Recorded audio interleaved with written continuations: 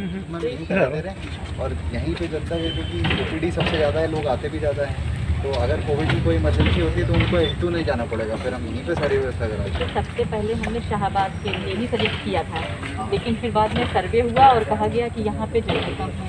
तो फिर हमने कहा जहाँ पे भाई टोडापुर में अगर हो वहाँ पे हो जाए लेकिन यहाँ पे सही यहीं पे रहेगा। इसीलिए तो मैम आपने कहा तो इसीलिए मैं खुद करने यहाँ पे ही हम करा देते हैं।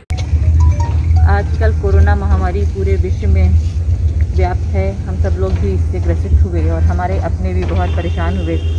हम जनप्रतिनिधि होने के नाते चाहते हैं कि सब लोग स्वस्थ रहें, सुरक्षित रहें और हम जो भी कर सकते हैं अपने लोगों के लिए, वो करें। अभी दूसरी लहर में ही हम लोग बहुत परेशान हुए, चारों तरफ़ देखा कि कभी ऑक्सीजन की कमी है, कभी और स्वास्थ्य सुविधाएँ, क्योंकि जब भी कोई महामारी आती है, जितनी भी सुविधाएँ हों वो कम पड़ जाती हैं। तो हम लोग आगे के लिए भी तैयारी कर रहे हैं कि किसी को कोई तकलीफ़ ना हो पाए, ऑक्सीजन के लिए कोई परेशान ना हो, दवाइयों के लिए कोई परेशान ना हो, हमारी सरकार ये चाहती है।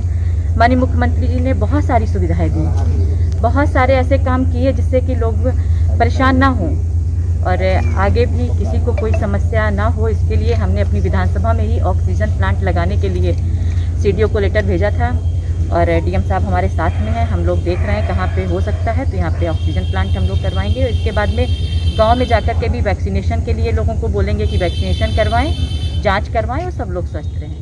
नहीं तो यहाँ सवाल लगी